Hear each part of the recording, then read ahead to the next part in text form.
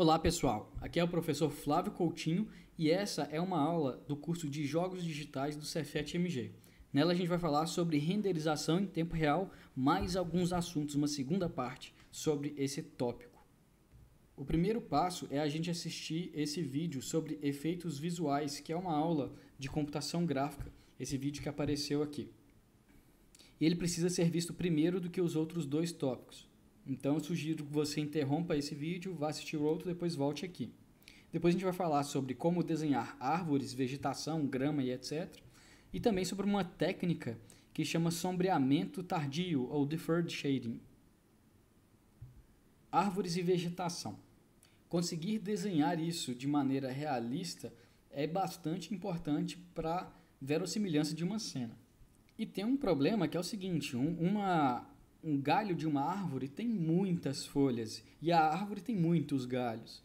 Em cada fiapinho de grama, imagina se a gente tiver que desenhar isso tudo individualmente. Né? Então tem que ter formas específicas para a gente poder conseguir desenhar vegetação e árvores de maneira satisfatória, realista e em tempo real.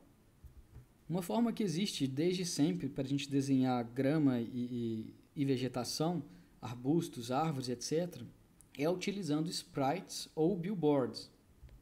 Para a gente desenhar grama em particular, a gente pega uma textura que representa vários fiapos de grama, ou uma moitinha de grama, e aí a gente coloca, aqui podem ser sprites, três sprites entrelaçados fazendo esse cruzados, né, fazendo esse ângulo aqui.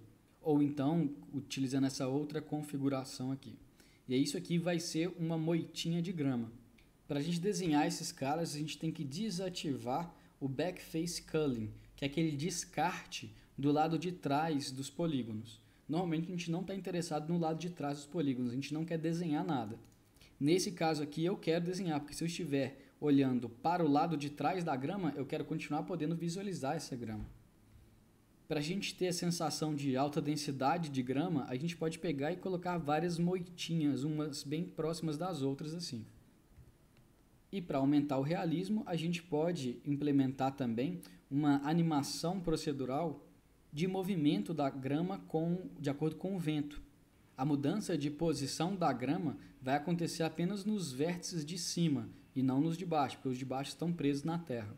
E a gente pode fazer essa translação desses vértices, o movimento desses vértices, alterar ao longo do tempo utilizando alguma senoide, justamente para a gente ter a sensação de que o vento passa, aí ela inclina, depois ele reduz a intensidade e ela volta um pouquinho. Dá para fazer coisas bem realistas com baixa complexidade. Só que hoje em dia o pessoal está podendo cada vez mais pagar mais caro, entre aspas, para poder desenhar a grama. Cada fiapinho é um objeto tridimensional com alguns vértices que é esse cara aqui, ó. São sete vértices que compõem cada fiapinho desses. Neste link aqui vocês podem ver o tutorial deste Royston explicando como que ele criou essa cena. Mas basicamente ele envia para o pipeline uma malha poligonal em que cada vértice dessa malha representa um fiapo individual de grama. Então ele pode mandar essa malha super dividida com muitos vértices, igual está aqui, ou ele pode mandar essa malha com poucos vértices assim. Dentro do pipeline, no estágio de Geometry Shader, cada vértice é transformado em outros sete, que são exatamente esses aqui que compõem o, o fiapinho. Cada fiapo tem tamanho e orientação aleatória para gente, porque assim é na, na vida real. E para poder controlar essa densidade, uma outra etapa do pipeline que chama Tessellation Shader pode subdividir essa malha mais ou menos, sendo que para malhas mais subdivididas a gente tem mais vértices que vai gerar mais fiapos mais próximos um ao outro. O resultado é bastante bonito.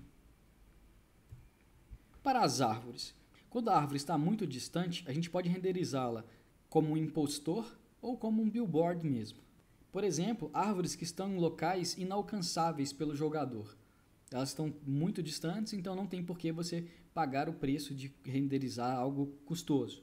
Agora, quando a árvore está próxima, a gente separa ela numa região sólida, utilizando uma malha poligonal para os troncos e para os galhos mais grossos, E para folhagem, a gente utiliza sprites, folhagem e galhos mais finos.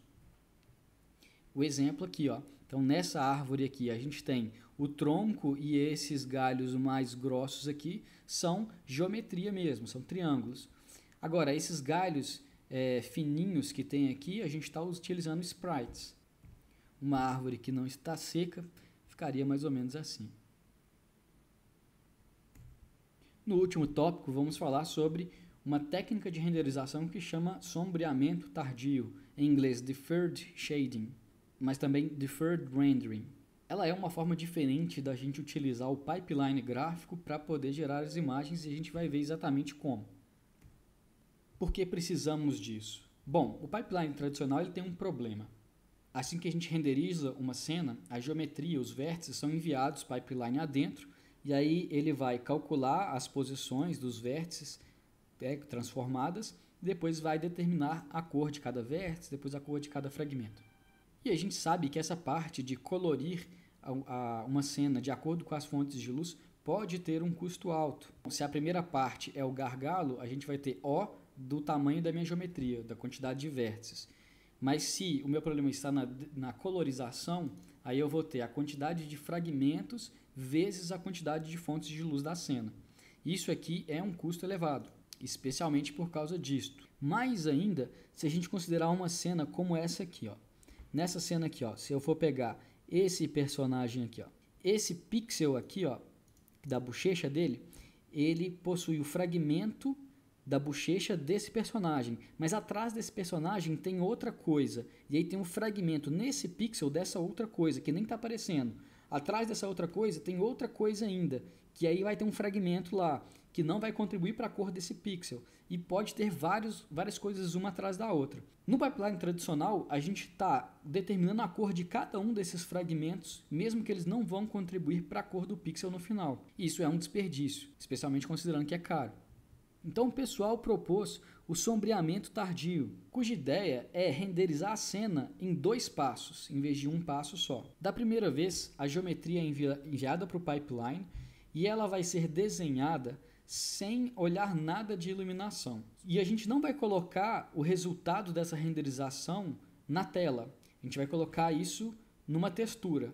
Na verdade, não em uma textura, mas em pelo menos quatro texturas separadas. A gente vai ver por que quatro no próximo slide. Aí no segundo passo, a gente vai mandar desenhar de novo apenas um quadrilátero do tamanho da tela e ele vai ter aplicado nele quatro texturas diferentes ou mais que são as que foram geradas no primeiro passo. Nesse momento, essas quatro texturas vão ser combinadas e a gente também vai considerar as fontes de luz para poder gerar a imagem final. Se eu tiver uma cena com mil vértices, por exemplo, os mil vértices são enviados para o pipeline no primeiro passo e aí a geometria é rasterizada sem cálculo de iluminação, faltou 100, para texturas. Esse buffer que armazena essas quatro texturas a gente costuma chamar de G-buffer, G de geometria. Aí no segundo passo, essas texturas do G-buffer elas são enviadas de novo ao pipeline que vão ser utilizadas num único quadrilátero do tamanho da tela. E lá no Fragment Shader, ele vai combinar essas quatro texturas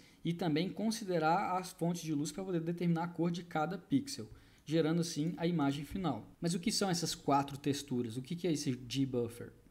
No primeiro passo, que a gente está gerando G-Buffer, a gente vai renderizar a cena uma vez, só que em vez de gerar uma imagem, vai gerar essas quatro aqui. Essa primeira imagem, ela é a imagem de profundidade, ou seja, a cor de cada pixel indica a distância desse pixel ou do objeto que está nesse pixel mais próximo da câmera até a câmera. Nesse caso do jogo Killzone aqui, é um depth buffer, só que ele está invertido, porque o preto é distante e o branco é próximo, que é meio esquisito. Mas tudo bem. A segunda textura aqui foi as normais dos objetos em cada pixel da cena. Uma terceira textura, eu estou colocando a cor das texturas apenas, sem nenhum cálculo de material, de iluminação e etc. E essa quarta textura de brilhosidade, ela também é em escala de cinza e ela vai mostrar o quão polido é o objeto em cada pixel da imagem.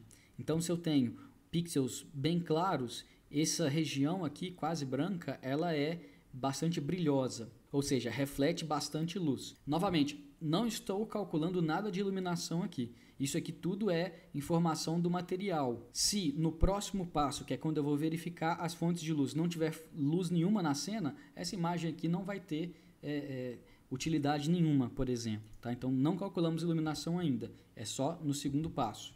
Aqui a gente tem a imagem final. Esse segundo passo ele é a combinação das quatro texturas do G-Buffer e a consideração das fontes de luz da cena para poder determinar a cor de cada cena, de cada pixel.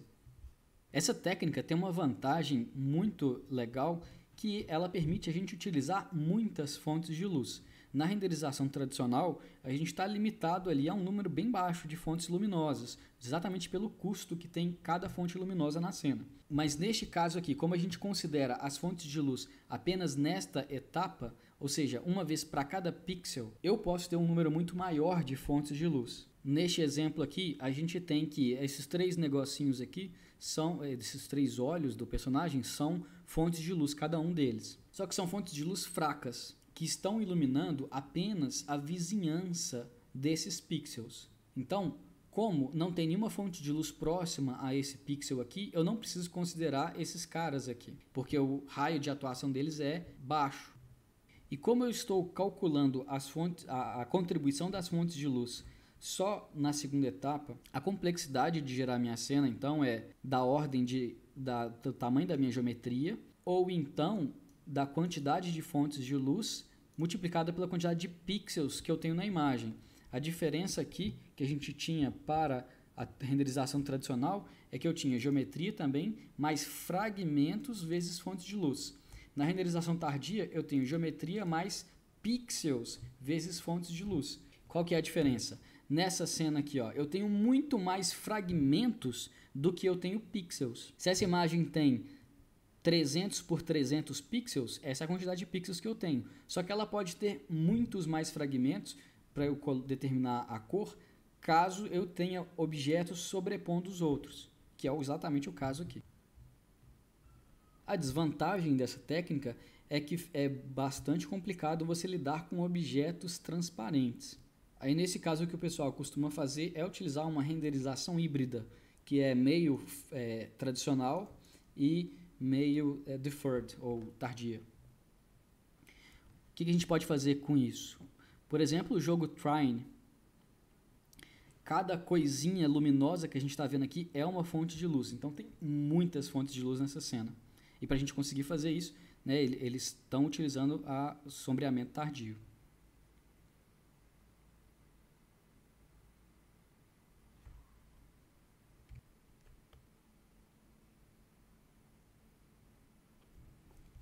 Isso é tudo que a gente tinha para essa aula. Muito obrigado pela atenção.